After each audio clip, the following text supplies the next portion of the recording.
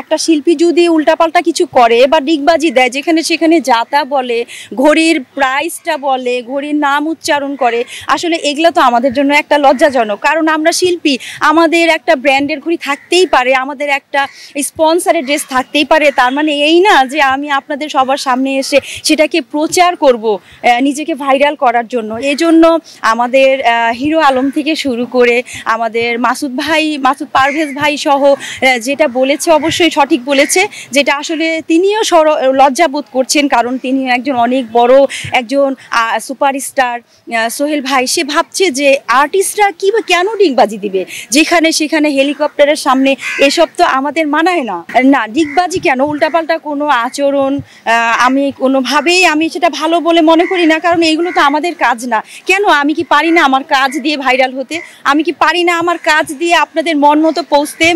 আমি কি পারি না? জনগণের মনের ভিতরের একজন আর্টিস্ট হয়ে থাকতে ভালো কাজ দিয়ে, তাহলে কেন এটা শুধু ফিতা কাটা, ডিগবাজি, একে ওকে মানে যা খুশি তা বলে যাব? এটা কি কোনো আর্টিস্টের কাজ? কাজ, একজন আর্টিস্টের কাজ হচ্ছে কাজ দেয়া। সর্বপ্রথম কাজ দেয়া। কাজের বাহিরে সে যাই কিছু করুক না কেন, কিন্তু কাজ নেই শুধু ডিগবাজি দিয়ে বেড়ানো, এটা ঠিক না। দেখেন আমার কাছে, আমাদের দেশের কাছে, জনগণের কাছে, এপার বাংলা, ওপার বাংলার কাছে সুপারস্টার কে? আমাদের শাকিব খান। এটা কি আমাদের গর্ব না, তাকে অনেক সময় টেনে ধরা হয়, তাকে নিয়েও বাজে মন্তব্য করা হয়। এটা কি আমাদের জন্য সরম না? যে একজন সুপারস্টারকে আমরা আজে বাজে কথা বলছি, তাকে আমরা সাপোর্ট না করে, তাকে নিয়ে আমরা ব্যঙ্গ করছি, উল্টাপাল্টা যারা কথা বলছে, আমি খুব আমি, আমার খুব লজ্জা লাগে যখন আমি সুপারস্টার শাকিব খানকে নিয়ে কোনো কথা বলি। কারণ আপনারা যারা কথা বলেন শাকিব খানকে নিয়ে, তারা আজ পর্যন্ত একটি শাকিব খান আর তৈরি করে দেখাতে পারেননি।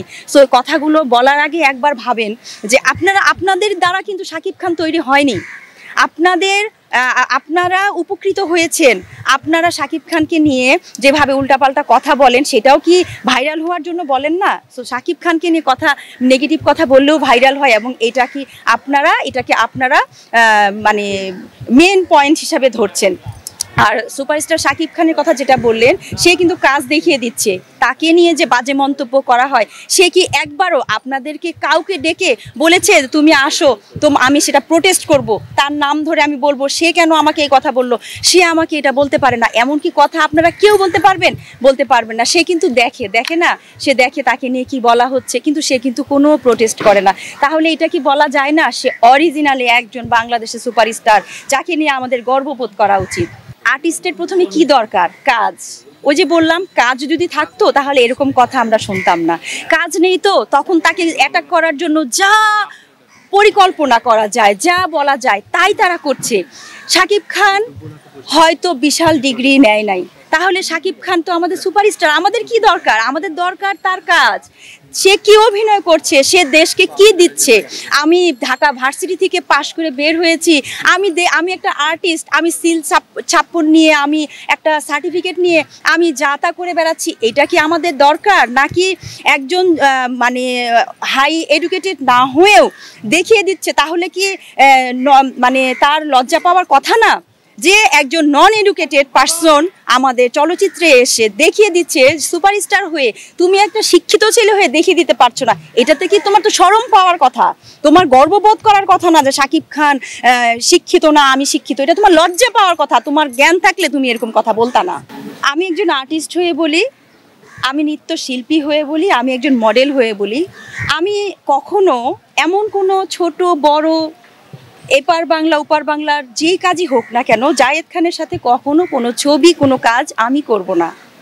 কারণ আমি একজন আর্টিস্ট আমি চলচ্চিত্রের চিত্রনায়িকা হয়ে আমার সদস্যপদ স্থগিত করেছিল তার মানে সে অলরেডি আমাকে তাচ্ছিল্য করেছে।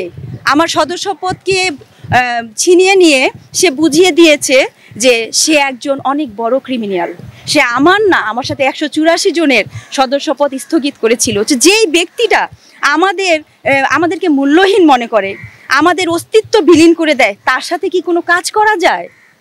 এটা দেশের কাছে, মানুষের কাছে, আপনাদের কাছে আমার প্রশ্ন। এটা কি সম্ভব আমার, আমাদের তার সাথে কাজ করা?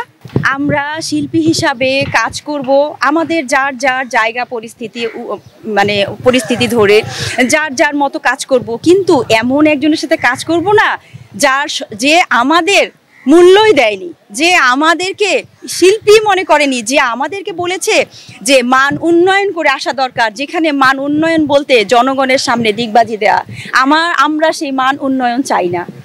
দেশবাসীর উদ্দেশ্যে বলতে চাচ্ছি, অনেক রক্তের বিনিময়ে, অনেক ত্যাগের বিনিময়ে আমাদের এই দেশকে স্বাধীন করেছে।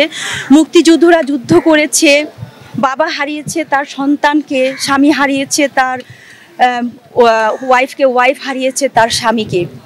অনেক কষ্টের বিনিময়, অনেক ত্যাগের বিনিময়। এই দেশ আজকে আমাদের বাংলাদেশ। এই যে আজকে আমি বাংলায় কথা বলছি, আমাকে, আমি যদি বেঁচে থাকতাম আমাকে তাহলে হিন্দিতে কথা বলতে হতো, ইংলিশে কথা বলতে হতো।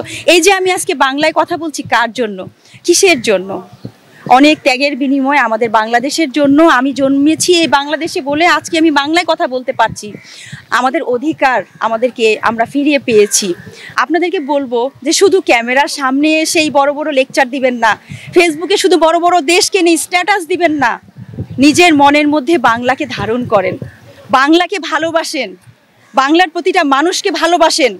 জ্বালাও, পোড়াও বন্ধ করেন। মনে রাখবেন, সেও হতে পারে আপনার বোনের হাজবেন্ড সেও হতে পারে আপনার বাবা, আপনার মা, আপনার সন্তান। কাজেই বড় বড় কথা না বলে, এই স্ট্যাটাস না দিয়ে, ভাষণ না দিয়ে, ঠিক এই দিনগুলোতেই আপনারা শহীদ মিনারে উঠে ভাষণ না দিয়ে, ফুল না দিয়ে আপনারা দেশকে ভালোবাসেন, তাহলে আমাদের দেশ অনেক দূর এগিয়ে যাবে। আমাদের ভবিষ্যৎ প্রজন্মরা অনেক দূর এগিয়ে নিয়ে যাবে আমাদের এই দেশকে।